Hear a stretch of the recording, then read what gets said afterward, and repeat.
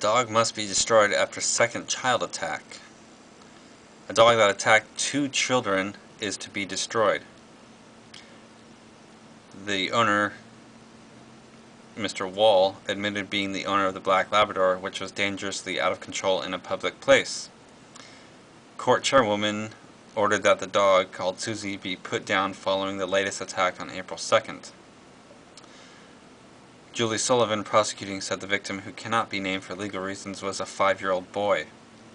The injured person's mother is the person who made the statement of complaint. At 7 p.m., she was walking with her five-year-old son.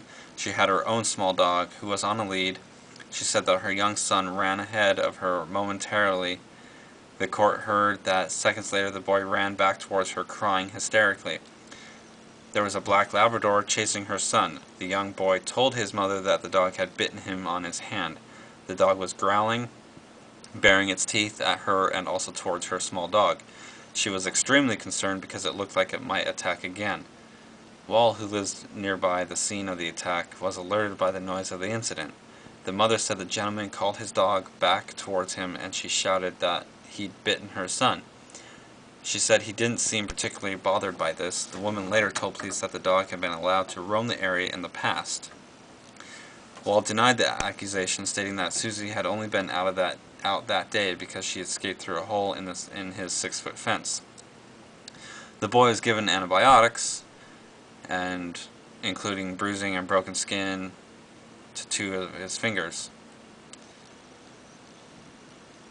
In police interview, Wall said Susie was a 14-year-old family dog and belonged to his ex-wife.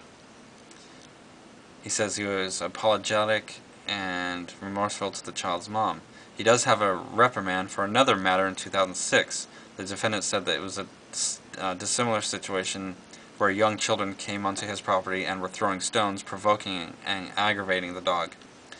Magistrates ordered the destruction of the dog. Wall has 21 days to appeal. So a Black Lab attacked children two, two times, one provoked, one unprovoked.